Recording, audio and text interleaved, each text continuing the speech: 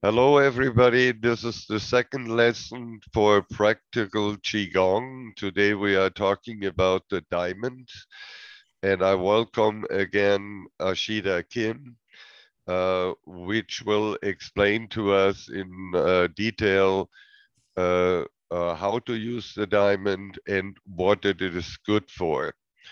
Uh, probably the best uh, question to start with Ashida, uh, where do we use uh, the diamond or in which situation would you use it? Uh, well, the diamond technique would be one that um, uh, is the opposite of the fireball technique. In the fireball technique, you create an energy pocket between your hands and then you press that into the area that you want to warm up or, or correct imbalance in. In the diamond technique, you make a pattern like this and you draw the energy out, okay? Because you have to bear in mind in, in Chinese medicine, uh, everything is based on yin and yang, okay? Yang is the fireball between your hands because it's the fire element for one thing, and because it's, it's, a, it's a positive energy that you're going to project into something or go project to do something with. In the diamond technique, you're talking about yin energy, which is emptiness, which is what is represented by the, by the yin element. And so the emptiness is used to draw things out. And there's two, basically two diamond positions. One is with your hands up this way and your, and your fingers, your thumbs uh, basically uh, horizontal. The other is with your thumbs extended. It makes more of a diamond shape this way. The difference is used for different areas of the body. If you're doing a large area, you basically use a large diamond. If you use a small area, you're doing a small diamond. Okay. Either way, you don't want to be looking through the diamond when you do this you want to have your head away from it, especially if you're leaning over somebody when you're doing this, this type of therapy on them. Because what you're doing is you're drawing the energy out of an area that is congested. You don't want to be standing over and have that energy hit you in the face because then you'll absorb it. You and it's not wouldn't be healthy for you that way. So essentially, the diamond technique is the is the opposite of the fireball technique we started with last time. And the fireball technique, as you remember, started off by having the half lotus palms, which basically meant the middle two fingers are touching together. And you put them about eight or 10 inches apart. Then you lower your center, stand in the horse stance, as we showed on uh, page four or page seven, and you circulate your hands until you feel the energy between them. Now, once you get there, then what you do is you close your fingers up, you tuck your thumbs in, right? And you're looking for a little point on the web of your hand right here. It's called large intestine four. And large intestine four is right in this in this web area uh, between your index finger and your thumb. Now, the easiest way to find this, because it's an acupuncture point, is to take your thumb and put your index finger underneath your hand and feel around with your thumb until you feel what seems like a little gummy bear under the skin. And that's where the large intestine 4 is located. And so on. Of course, the point is accessed in acupuncture on, on the skin by barely penetrating. But to press on the point by using acupressure, that's the that's the area that you find right there. When you feel that little gummy bear under your skin, then that's the large intestine four. Now, the reason this is important, and this is actually gets into a, a more advanced lesson, but the reason this is important is because it deals with acupuncture meridians. The large intestine meridian runs from the outside corner of the index fingernail up the arm, up the side of the neck. It crosses across the, in, your face and it ends on the opposite nostril, on the outside corner of the opposite nostril. So the large intestine meridian actually crosses directly under your, your nose on the philtrum, that little space under your nose. The large intestine meridian, of course, controls the large intestine, the colon. So this is important in treating disease because if or imbalances of energy because if you're if you have constipation then the energy in that meridian is not flowing fast enough.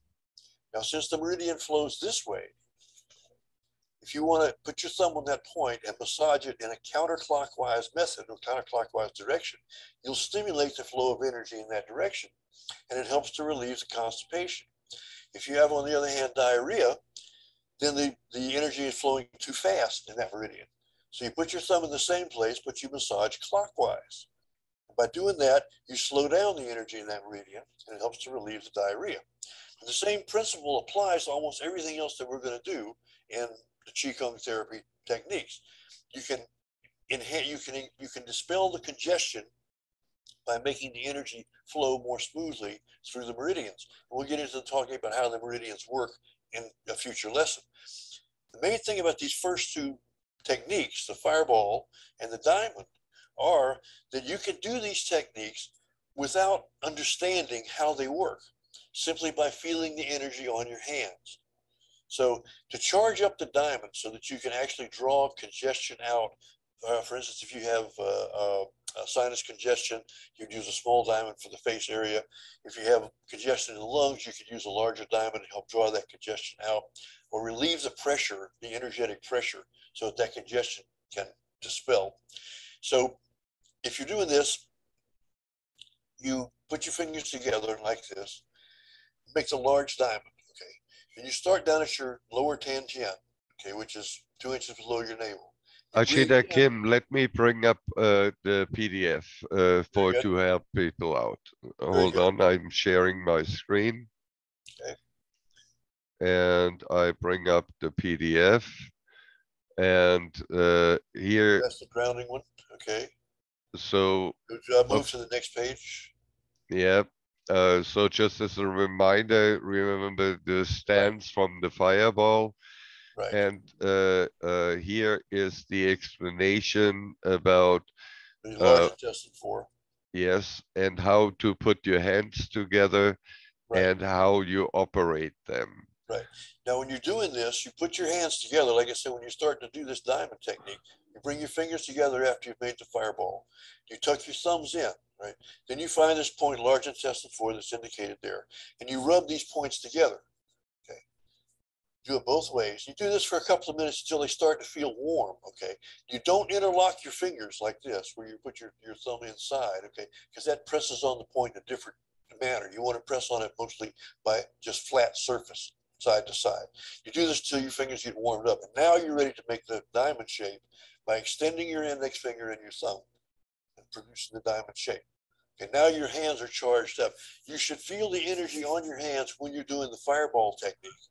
And then you should concentrate it between your hands when you're making the diamond technique. So that's to, to carry on to where we're going next. So, All right. And uh, uh, what I found out using the diamond, uh, when you draw out energy out of a, a part of the body, you actually feel later on a cold wind going through your diamond shape. And that indicates that you are really pulling something out. Right. Right. This is one of the one of the keys to using this technique. And when the first time you feel it, it'll be kind of unusual because you'll you'll think to yourself, I can't believe this is actually happening. But you'll feel the energy coming out between your hands. The part of the trick to doing this is after uh, which I'll, I'll mention uh, how, how to charge your hands up in a minute. Part of the technique of doing this is to extend your little finger on your right hand when you're doing this. This is a grounding sort of an antenna sort of a technique. It helps to keep the energy from blowing back on you and causing you any, any harm. Okay. So that's a little side part or a little final part of the technique when you're using it for a therapy. Okay. So the next thing you do is to charge your, your diamond up. Okay. By doing this, you have your diamond shape. You start with your lower tantien. Okay. You breathe in and you bring the large diamond up. And then you breathe out and you push the small diamond down. So you start going upwards with the large diamond as large indicated indicated on the center uh, uh, picture, and Right. then going down, you use Right. the small diamond. small diamond. And this helps to concentrate the energy in your lower tantien, where it's going to uh, charge your hands up and make your hands you know, uh, magnetically, electromagnetically charged. So this will operate the way you want it to. Now you do this three times, okay? and then after the third time, your diamond is charged up. Now you can basically use it as a therapy. They said for this diamond technique is used primarily uh, for uh, uh, problems that involve dryness and heat because it's a way of dispelling the dryness and the heat. Bearing in mind that the main pathogens in Chinese medicine are cold, wind, damp, fire, or heat and dryness. Okay? So those are the five pathogens, but there are many degrees of those pathogens. And that's one of the things to get into in this second lesson of this 12 part series that uh, Grandmaster Harris and I developed. And the second lesson, the first part of this particular course, is a list of more elaborate uh, pathogens, so the more variations that the pathogens can combine into, like summer heat. Summer heat is different from dry heat. So in order to help you identify these different conditions and different imbalances that can develop, the each one of these pathogens has a little paragraph about it that, that, that explains some of the uh, uh, characteristics to make it possible for you to identify these imbalances and therefore know how to treat them. So uh, these this technique with the diamond technique here uh, is very good also for pain if you have a problem with pain. Um, the, uh, the trick is now once you've got your diamond charged up, you do not place it on the, the person that you're doing the therapy with. And of course, you have to get their permission just as, as before to, to perform these techniques on them. You put the diamond over the area that you want to provide the therapy for, and you extend your little finger out to the side. And you're about an inch and a half away from the person that you're working with. And you hold this position, just breathing slowly and deeply until you begin to feel this wind between your hands. Sometimes you'll feel your hands will tingle at first, just like you do with the fireball. Other times you'll just feel the wind itself. But once again, don't look into the triangle, let the wind go past you, or make sure that you're letting the wind go into an area that it's not going to collect and create any more problems for anything else. Because all of these things are energetic, and this energy uh, will linger and, and, it, it can contaminate other things.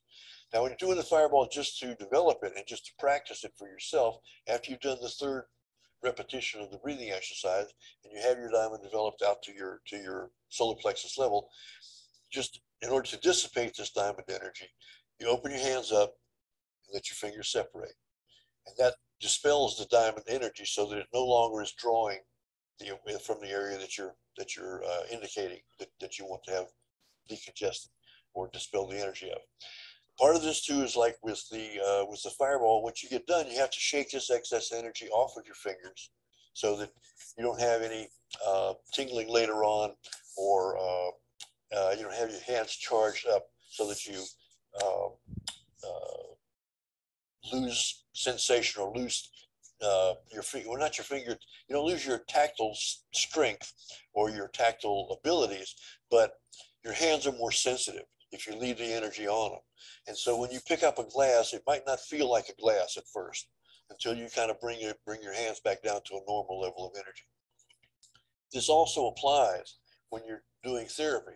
Once you've done the technique and you've dispelled the energy, okay, then you have to drag the energy off so that it, it, is, it is carried away from the patient that you're working on from the person that you're dealing with.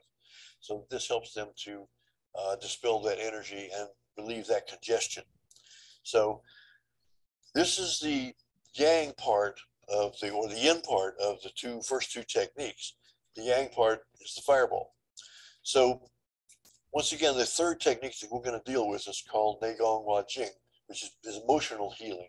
And it is, it also has a, a tactile component to it. And after that, we're going to get into um, the more uh, personal aspects of balancing your own energy, like the five elements and the 12 meridians and this sort of thing. And these are all things that you need to understand before you can do the advanced techniques, like the fire bowl that you, where you keep your hands together, basically, uh, as you're, and you really concentrate the fire energy, or the uh, dragon claw or scorpion claw, where you can bend or meld bones back together. And so these are things that you have to understand before you can do that level of technique. These first three techniques are very basic, very simple, and we want to share them with everybody for as free as we can because we want to let people help each other.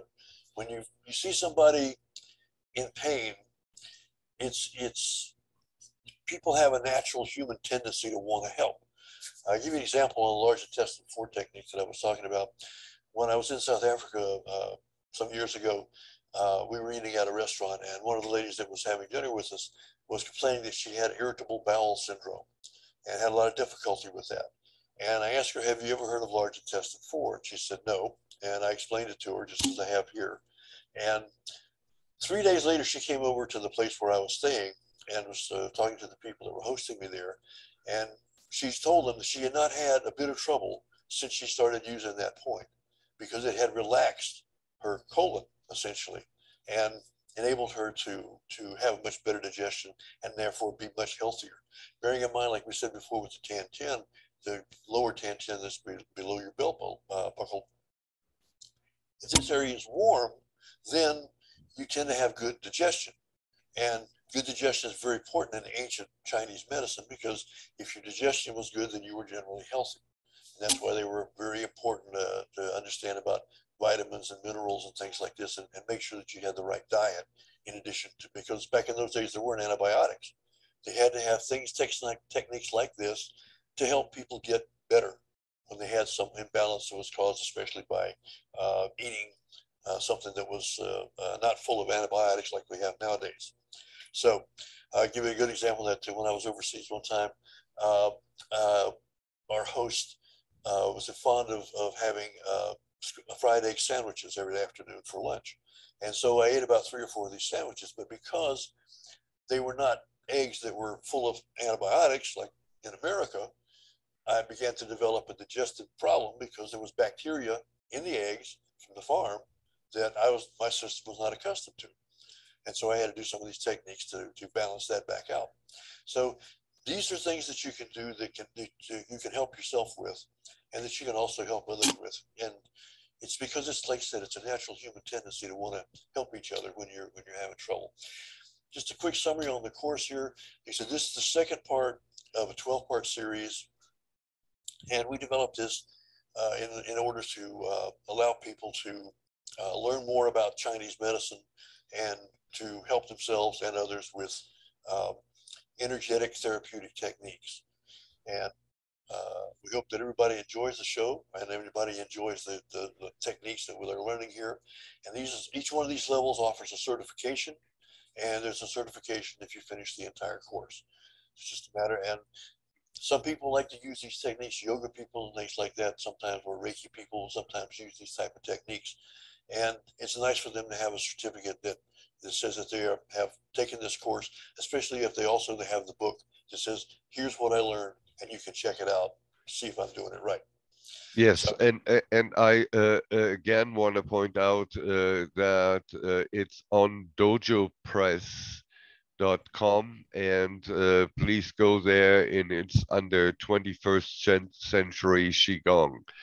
Uh, I want to put, put something out uh, and uh, what I'm pointing out here is within the picture you can see that Grandmaster Kim has the diamond uh, set in a way that whatever comes out of it, it won't hit his body. So he is moving out of the position so that he is pointing it uh, over his shoulder, whatever comes through the diamond.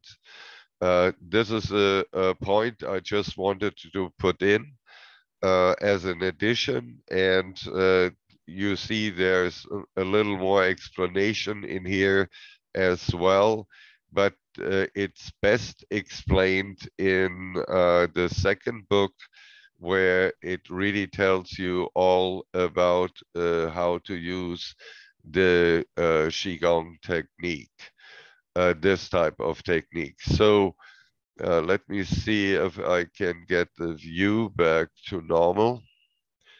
And because I'm missing a button here on my screen. Uh, I don't know what happened with the uh, menu.